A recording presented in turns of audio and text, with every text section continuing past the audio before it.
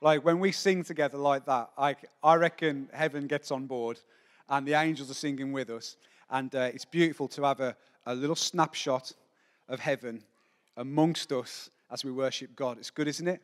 And um, listen, if you're new to our church, uh, we make no apology for the fact that we love to praise Jesus. And it's okay to have a little bit of fun in our daddy's house as well.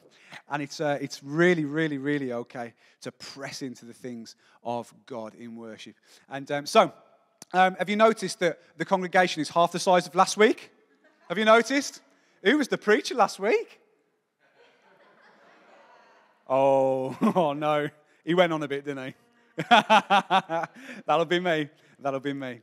Um, I, I, I, was so excited to share the message last week. I really was. And um, I get really excited. You're like, you know, when you're reading your Bible, and sometimes it's just like, I don't know, it's like the whole scripture you're reading is just like a cold drink on a hot day. And you're like, oh, God, that is so good for my soul. I can't wait to share it with people. And um, so last week we started to look at what the heck did the disciples do um, after Jesus had ascended to heaven and when the Holy Spirit had come in power on the day of Pentecost. What did they do themselves afterwards? Well, the scripture is really good to us because it tells us. It says that the disciples, they, um, they, uh, they devoted themselves to the who's teaching? The apostles' teaching. Sorry, to the who's teaching? Come on now, I'm a teacher. You don't get away with silence in my messages. All right. So they devoted themselves to the apostles' teaching. Well, what were the apostles teaching? Well, they'd been commissioned by Jesus to teach everybody else everything that he had commanded. So we can be confident that the apostles were teaching and preaching what Jesus had commanded. What was Jesus preaching and teaching? He was preaching, love God with all your heart, mind, and soul, and love your neighbor as yourself. And through that lens, he opened the, the, Old Testament so that we could enter into the prophecies and the mystery and the ancient message, which is the story of God, the story of redemption of humanity. Isn't that good? And so they devoted themselves to the apostles' teaching and to fellowship and to breaking bread and to prayers. Well, we started to look at the teaching of an apostle last week, the apostle Paul. Were you here last week? And as we were looking at the Apostle Paul's teaching, we dived into a letter that he wrote while he was under house arrest in Rome to a church in the city of Philippi that he had started 10 years previously. And the Apostle Paul, he was so excited to write to them. Though he was in prison, prison wasn't going to keep him down. Can you remember what happened to the Apostle Paul when he was in prison in Philippi? Do you remember that midnight praise party when suddenly an earthquake came and the chains fell off, fell off and, the, and the prison doors were shook open? Do you remember? Paul's not so concerned about prison because he knows that even prison cells can become a platform for the power of God to move. Hello? Oh, we were so encouraged last week. We loved reading about how the church in Philippi started in a lady's house. Can anybody remember her name? Lydia. Her name was Lydia. It started in Lydia's house. The Apostle Paul shared the gospel with Lydia. She was a wealthy woman. She opens up her home. It's no longer her castle, it's an embassy of the kingdom of heaven. And people come in and find sanctuary, and they find the preaching and teaching of Paul, and they find out that Jesus is Messiah, and God really does love them. And the church starts to grow. Not just Lydia, but also the ladies from the Riverside prayer meeting. Do you remember that bit? And not only that, the jailer who, who, who had been responsible for Paul's imprisonment he became a Christian. And so did all of his family. Amazing. Amazing. So, 10 years later, the Apostle Paul, he's been doing a lot of traveling, he's been starting a lot of churches, and he winds up under house arrest in the city of Rome. And he's writing back to the church in Philippi. He's writing to Lydia. He's writing to the jailer and his family. He's writing to the ladies' Riverside prayer meeting crowd. He's, he's writing back to them uh, to encourage them in their faith. Chapter 1 talked about the fact that it doesn't matter that I'm in chains. My imprisonment has turned out for something very good because now everyone is hearing about this Jesus I'm in prison for, and they've got to keep me under, uh, under lock and key. They've got to keep changing the guard, and every single guard is finding out about Jesus. They thought they were going to keep me down. The opposite has happened.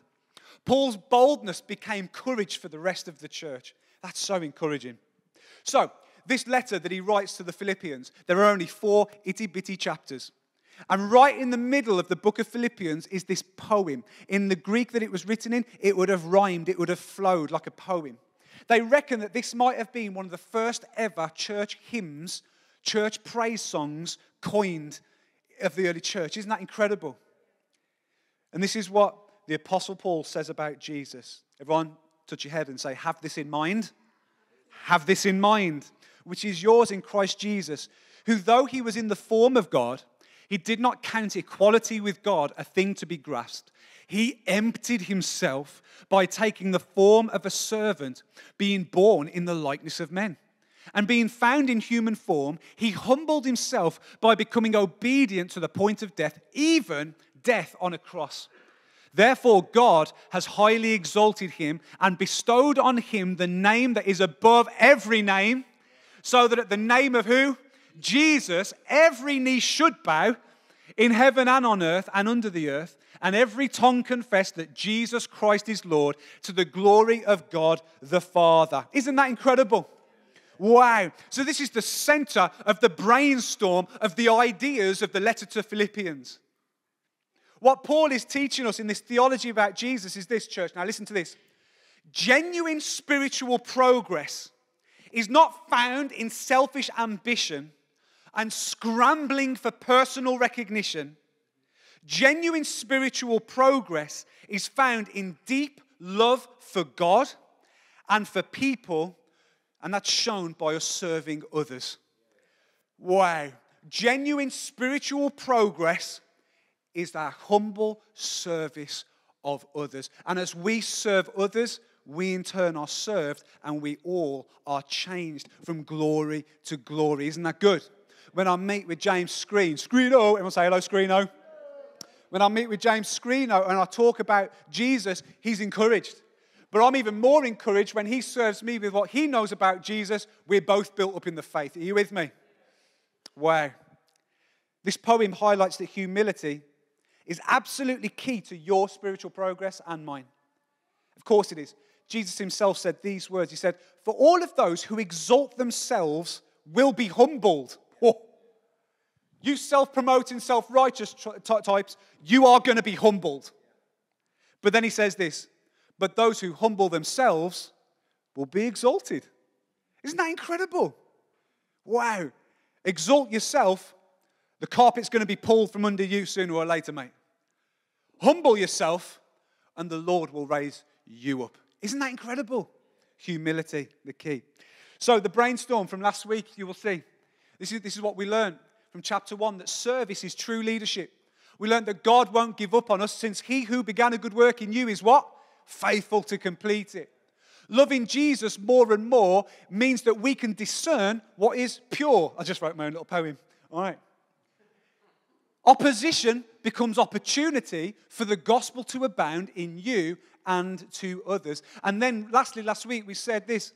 Well, the scripture said this whatever happens in life, conduct yourself in a manner that is worthy of Christ. Amen? You'll remember that Philippi was a hotbed of political nationalism. It would have been known as a far right wing society. The people there were, were ex Roman soldiers who were loyal to Rome and loyal to the emperor. You'll remember that only the emperor is to be um, uh, to, to serve, to be honored, to be worshipped in Roman culture, along with the other gods, I suppose. So here you've got a problem because you've got a church that is starting who do not recognize the, the, the, Caesar, the emperor of Rome, as ultimate authority. The ultimate authority for the, for, for, the, for, for the Christians in Philippi was the king of heaven, not the emperor of Rome. And the minute you start having a higher authority than Rome, you're a rebel, you're a traitor, you're an upstart, you're a turncoat, you're an insurgent, you are revolutionary scum threatening the fabric of our culture. To be a committed follower of Christ in Roman society, to adopt the culture of the kingdom over the culture of Rome, was like a spit in the face of the empire. You can imagine the voice of Roman culture saying this to the Christians in Philippi Look what you have. Look what we fought for. Look what your forefathers murdered and raided and pillaged for your benefit. Look at the slaves that we've stolen for your best. We're kings in this life. And you want to follow another king, some day laborer, Jewish rabbi that you reckon is the Son of God, who we nailed to the cross. Are you mad? Are you telling us to be a Roman citizen is not good enough for your heart? You'd rather risk your life as a so called citizen of heaven? The Apostle Paul actually called Philippi a colony of heaven. Flipping out, Paul, you get this in deep water here. Wow. But I can imagine, maybe you can imagine the heart of the Philippian church responding to the voice of Roman culture with these words Yes, Rome, your world satisfies my flesh in so many ways. But my spirit was broken until I met the author of life. My stomach was full in this prosperous city, but my heart was hungry for spiritual food that only He can give. I found Him to be the bread of life, Rome. My soul was in the dark, it is in the dark until I met His light. And He is the light of the world, Rome. My Roman citizenship brings certain benefits, but Jesus has opened the door to the benefits and the blessings of God. He is the gateway to real freedom, Rome.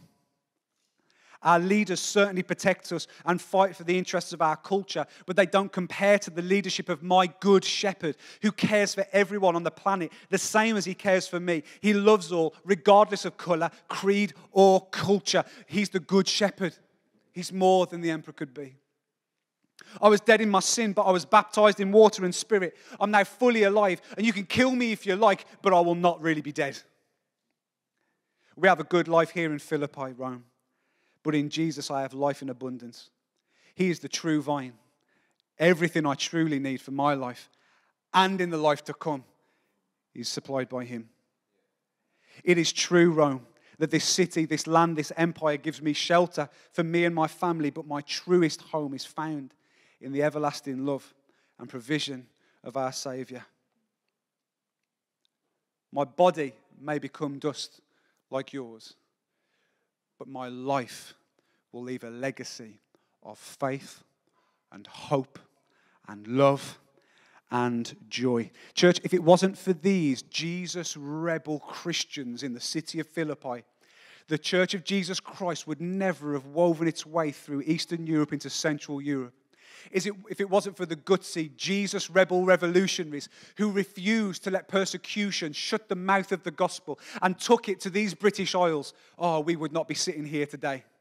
If it wasn't for the same Holy Spirit of all of those forefathers and foremothers, oh my goodness me, we would never have had a church to sit in today and worship the King like we have this afternoon. Can I ask you, where will you pioneer? What community will you pioneer in? How will you pioneer the gospel in your workplace and in your community, in your own family? Doesn't it seem to you that the God of heaven will stop at nothing until the world and all the nations know that he loves them? Wow. Do you know we're a direct result of the church of Philippi? How cool is that? If we were to trace back our, our ancestry, our spiritual ancestry, our gospel family tree, it'd start that moment Paul got off the boat from Troas to Philippi. He went west instead of east because God asked him to. So let's get into chapter 2, shall we? Is that okay? This guy preaches a long time, doesn't he? The first part of chapter 2, it says this imitate Christ's humility. Let's read this together. Is that coming up, Does? There we are. Therefore, if you have any encouragement from being united with Christ, if any comfort from his love, if any common sharing in the Spirit, if any tenderness and compassion, then make my joy complete, says Paul, by being like minded, having the same love, being one in spirit and of one mind. Do nothing, church at Philippi, do nothing, church in Gornal, out of selfish ambition or vain conceit. Rather, in humility, value others above yourselves not looking to your own interests, but each of you to the interests of others. In your relationships with one another, have the same mindset as Christ Jesus. Isn't that incredible? But it begs the question what ensures, church, what ensures effective growth, not only as a Jesus follower on our ones, but as a whole church community? The keys are in those scriptures right there unity and humility. What ensures your personal spiritual growth and the growth of this church in this community? It is unity and humility. You'll have heard the scripture that says that unity commands the blessing of God on his people. Do you want this church to be blessed? Well, there's something about being unified with a single heart and mind to see the lost found, to see the broken healed, to see people who are far off brought into the family of Christ. That single mindedness and that unity commands the blessing of God. Who knows where the blessing could stop? Unity amongst a group of people is accelerated and deepened when every single one of us values each other above themselves. That, when that happens, no one is left out, no one loses out, and all of us are elevated. Do you remember the scripture of Jesus? Those who exalt themselves will be humbled, but those who humble themselves will be exalted. Imagine if that happened on mass. Wow. Wow. Begs the question if we're to have the same mindset of Christ, what was the mindset of Christ? My brother taught me this a long time ago. The only thing that Jesus describes himself as, his own personality characteristic, the only characteristic he describes of himself is this I am humble and gentle. Wow.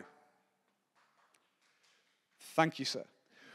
We see Jesus as strong, mighty, courageous, stops at nothing. But if you ask Jesus face to face, how would you describe yourself, Lord? He'd say, honestly, Humility is the, the person I want to be. Humility is the person I commit to being.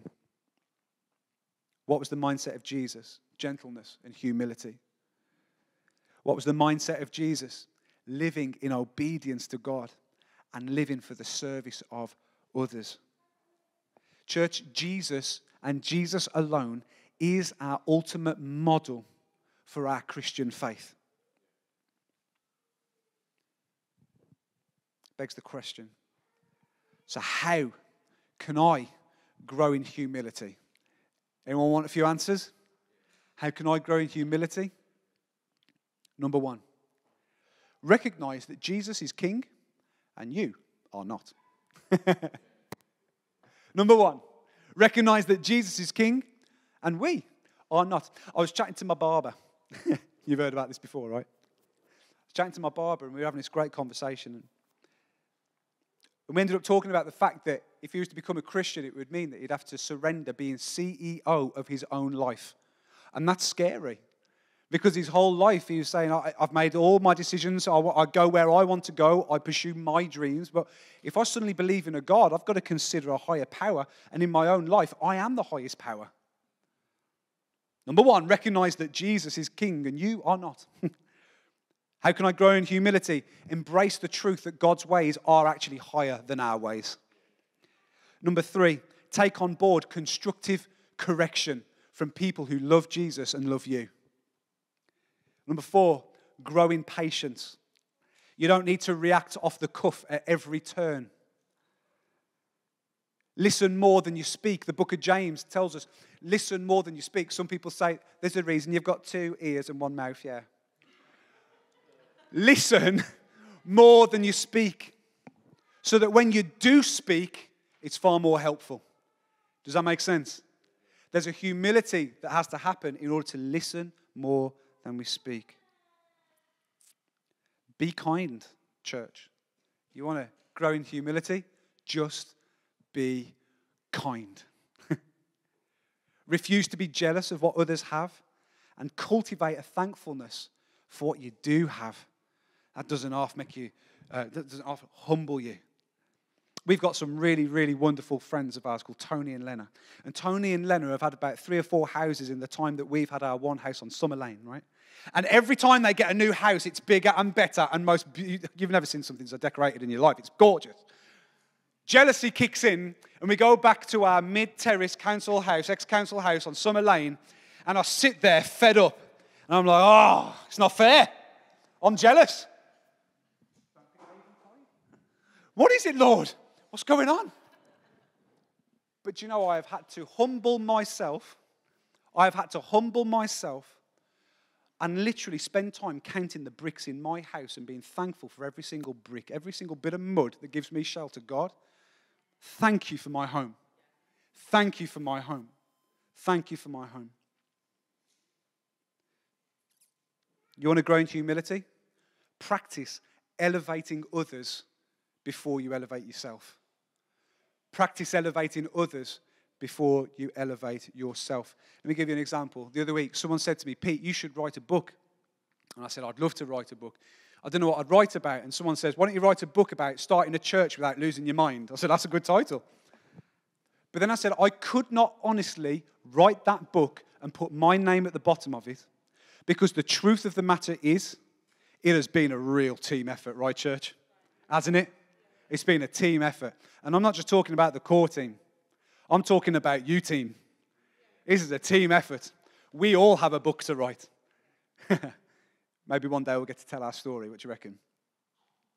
Refuse to be jealous of others. Elevate others more than promoting yourself. Let selflessness be over, uh, let selflessness overtake selfishness. Respond peacefully to situations instead of anger. Don't hold things against others like you've never done anything wrong.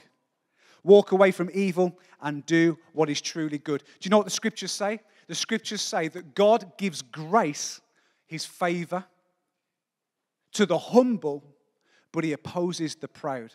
The number one key to your spiritual progress in your faith journey is this humility. Humility is not doing yourself down. Humility is letting God rise up in you. The scriptures carry on. They say this. This is Paul writing to the Philippians. Are you enjoying this? In his letter, he says this Therefore, my dear friends, as you have always obeyed, not only in my presence, but now much more in my absence, continue to work out your, fear, uh, your faith with fear and trembling. For it is God who works in you to will and to act in order to fulfill his good purpose. Do everything without grumbling and arguing. That sounds good, doesn't it? Do everything without grumbling or arguing, so that you may become blameless and pure, children of God without fault in a warped and crooked generation. Then you will shine like stars among them as you hold firmly to the word of life. And then I'll be able to boast on the day of Christ that I did not run or labor in vain. But even if I am being poured out like a drink offering on the sacrifice and service coming from your faith, I'm glad and rejoice with all of you. So you too should be glad and rejoice with me. Let's break it down. What's he saying? Here's a question How should we live out our faith? With authenticity, with integrity. Did you hear that? What does that mean? It means be the real deal. Don't fake it, just follow Jesus. Living for Jesus, live for Him, whether somebody is watching or not. That's real integrity. Doing the right thing when nobody else can see you doing it. Whether it's in public or in private, follow Jesus. Whether it's in front of Christian leaders or non Christian friends, follow Jesus. Whether you're with Christian friends and family or not, church, what we're going to do, we're going to follow Jesus. What's Paul saying? He says, Church at Philippi, you are doing so well. Oh, 10 years in the making. This church is rocking and rolling. You are so great. I'm so impressed with you. But can you keep living authentic faith? Don't fake it any time of day or night. Be real and raw and follow Jesus. What should we do with our salvation? The Apostle Paul says, he says we should work it out. Work it out. Three or four months ago, as you know, because I'm ever so proud of myself, I started going to the gym. Here it is again. Yeah, did I tell you? I started going to the gym. Now, oh, I'll tell you my. No, no. I've got a new personal best, Dan. I'll tell you in a sec. So, three or four months ago, I started uh, to work out. Not Jack Civil workout, Pete Wright workout.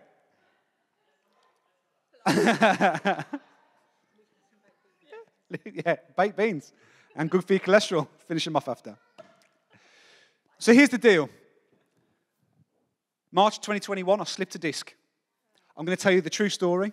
It wasn't doing anything impressive at all. Do you remember that long hair I had? I was sat on the edge of the bed, drying my mane, right? I got up awkward and I slipped a disc. It was very heavy hair. True story. I slipped a disc whilst trekking in Israel in February 2020. I wrestled with God and got a gammy knee. and so I'm 38, not 98, and four months ago, I'm like, I need to sort this out. I need to work it out. See, here's the thing, right? I had my body, but I wasn't working out what I had in order to improve the condition of my body. You with me? Strength grows through exercising what I have. Christian, you already have your salvation. But we are called to work out our salvation to maximize the potential of what we have in Jesus. Strength grows as we work out, living out our faith. Work out. Work out your faith with fear and trembling. So my, uh, my, new, my new personal best on the old squat lift. 70 kg, people. I know, 12 reps. How about that? I know, I know. I've got twiglets for legs. Here's the thing my gym subscription, it's not cheap actually. I don't like paying it at all. Who does? My gym subscription is paid out each month in advance of the experience of working out. If I don't turn up, I am literally wasting what has been paid for for my benefit. If I do turn up, I benefit, my kids benefit from a healthier dad, my wife benefits from a healthier husband. All right?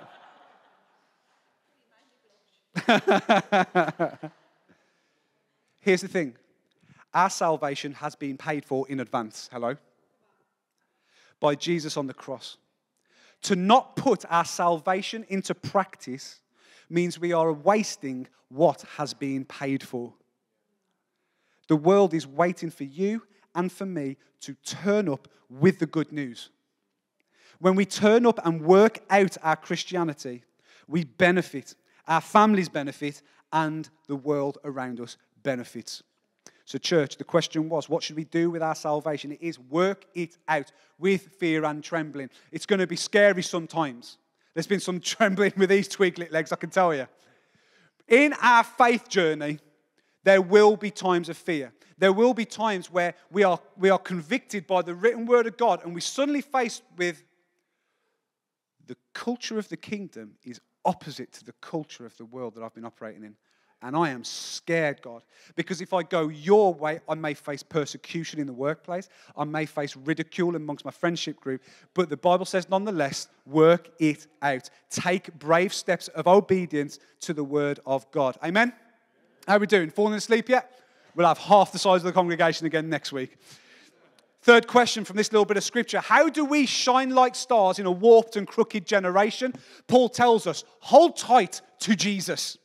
How do we shine? By holding tight to Jesus. Of course, that's the way. He is the light of the world. And as we hold tight to Him, we are the light of the world. How do we do that? We decide each day to follow His example of love, sacrifice, and humility. Church, do you know that grumbling and, and, and disputing in the church is like a dimmer switch on us? Did you know that? Now, I am so grateful to be in a church where I don't think I've ever heard grumbling or disunity amongst us. If you were there in the early days, we used to say almost every week from the platform, well, the front of the pub, if you're a gossip, thank you for visiting, but this is not your church. Does anyone remember that? Grumbling and disputing in the church dims the light of Christ in us and our ability to shine for Jesus in our community. That doesn't mean you don't challenge when things aren't right, but it does mean that we don't leave it as a dispute. We work it out. A heart united with Christ, a whole bunch of hearts united together in Christ, causes God's people to shine like stars in their community. In ancient times, what were the stars used for? There was no sat nav. what they, they, they, they use the stars to guide. Sailors out at sea would use the stars to guide them to their destination. What if you are meant to shine like a star to guide people to the destination of friendship with god? And if we are dim that ain't going to happen. But if we refuse to grumble if we refuse to allow ourselves to get disappointed if we could just stand firm and hold tight to the Word of God and hold tight to one another, maybe, just maybe, a star will rise in this community. His name is Jesus. Come on now. You're called to shine like a star in your generation. The world is desperate for light. Last part of the scripture. Let's do it. Let's do it. Coming into land. I hope in the Lord Jesus to send Timothy to you so that I too may be cheered uh, by news of you. For I have no one like him who will be genuinely concerned for your welfare. For they all seek their own interests, not those of Jesus Christ. But you know, Timothy's proven worth. How, as a son with a father, he has served me in the gospel. I hope, therefore, to send him just as soon as I see how it will go with me. And I trust in the Lord that shortly I myself might come also. I have thought it necessary to send to you Epaphroditus, my brother and fellow worker and fellow soldier, and your messenger and minister to my need. For he has been longing for you all and has been distressed because you heard that he was ill. Indeed, he was ill, near to death, in fact, but God had mercy on him. And not only on him, but on me also, lest I should have sorrow upon sorrow. I am, more, I am the more eager to send him, therefore, that you may rejoice at seeing Epaphroditus again, and that I might, I might be less anxious. So receive him in the Lord with all joy, and what? Honor such men. For he nearly died for the work of Christ, risking his life to complete what was lacking in your service to me. What an incredible thing. These two men, I love that Paul is putting into practice the Jesus ethic of promoting others over yourself. It's beautiful, isn't it? Yeah, I am Paul. I am the great apostle. Yeah, I am pretty awesome. But guys, oh man, Timothy and Epaphroditus, you want to see these lads. Oh my goodness. There is no one I know more committed to your welfare than Timothy. He's an absolute legend. He's wonderful. Oh man. And Epaphroditus, did you know that his mom called him lovely? Epaphroditus means lovely in Greek. Maybe this was his real name, maybe it was Paul's nickname. Whoever this guy was, he was flipping lovely. Epaphroditus was great. He was lovely. And Epaphroditus and Timothy, they kind of reflect Jesus. Timothy was so concerned about the welfare of others. Epaphroditus risked his life for the sake of the gospel. Sounds like Jesus, doesn't it? Honor such men and honor such women. I honor Pastor John Rowe this afternoon. He's a father in this house, isn't he? Love that guy. I honor him because at the time spring started, he was winding up businesses and about to retire nice and early. But then God called him and said, I want you to go west instead of east, John. I want you to start a church. I want you to be a pastor. Flip your heck, Lord. I'll do it, but I'm not going to enjoy it, he said. I want to honor Pastor John Rowe and Carol this afternoon. You have no idea how much these guys do voluntarily behind the scenes because of their love for Christ and their love for you. Wow. I could go down each member of the core team. I could, I could talk about Ellie. I could honor Ellie so much this morning. I know Ellie's story, and I'm so flipping proud of you, Ellie. We honor you, El.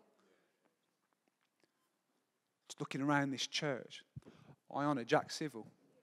Jack Civil started a TikTok and an Instagram page to inspire young bodybuilders to, to do it the right, healthy way. I think that's brilliant. Not only that, him and Lydia, they get stuck into the youth work. Jack gets stuck in with the football every Tuesday night. My goodness me. They are literally changing the lives of young people in our community. I honour people like them. I honour Paul and Sue Flavel. Four parents in the faith in this community. There are blokes, full grown blokes older than me, that still come up to Paul and call him dad because of the way that he loved them and nurtured them and put on um, um, youth these guys put on youth clubs to, to bless the young people of Gornal. We are standing on the shoulders of giants. Did you know that? Wow. I could go on and on and on. There's not a single person in this room that I could not honor. Every one of you. Not because of your own strength, but because of what you have allowed God to do in your life is worthy of honor. Honor people such as these. As a community, let's grow in humility, unity, integrity. What do you reckon? Let's honor one another above ourselves. And in doing so, we are all honored. Wow. You might be sitting in church this afternoon and you're curious about Jesus. You're really curious about what he's got to say. I want to encourage you, if you're not already a follower of Jesus today, can you, in humility this afternoon, recognize your need of God's love and protection and guidance? I want to encourage you that in the Gospels, nobody became a Christian because somebody did a, a response appeal prayer and a bunch of disciples put their hand up. That never happened. Never happened. What did happen was this Jesus just spoke the truth. He said, Follow me. And people followed him. Or they didn't. If you want to follow Jesus, crack on, my friend. Start today. Come to know him. How will you be saved? Anyone who believes that Jesus is the Son of God and you confess with your mouth as such, you are saved. I just want to give you a moment in your heart to confess as such so that you can be saved. If you're a Christian already and you want to give your heart to the Lord all over again, you go for it. Come on. Thank you, Jesus. Give my life to you, Lord. Give my life to you, Lord. If you're already a Christian in this place today, you follow Jesus and you love him, can we use today's message as a reminder, like Paul reminded Philippians? Integrity, humility, unity. Father, I pray that as a church, as a people that call you Lord, we would grow in integrity of heart, humility, our disposition. Let unity just be in abundance, Lord. Father, I pray that people would know that we are Springs people because of the way we love one another. You said, Lord, let them be one as you and I, you and the Father are one. And so, Father, we thank you again today for oneness. Come move in power, Jesus, for the glory of your name and for the redemption of the souls. In Jesus' name. Amen. Amen. Amen. Amen.